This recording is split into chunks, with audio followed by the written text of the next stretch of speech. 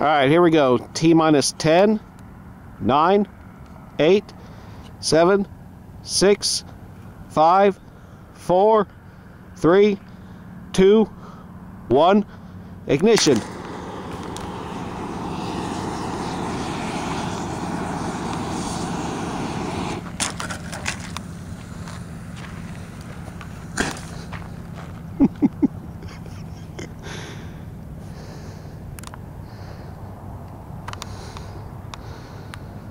You know how I said if anything could go wrong, could go wrong?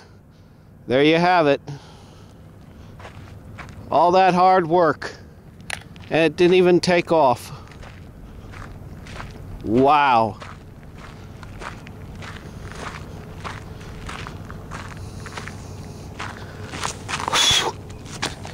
Burnt the crap out of the launch pad too.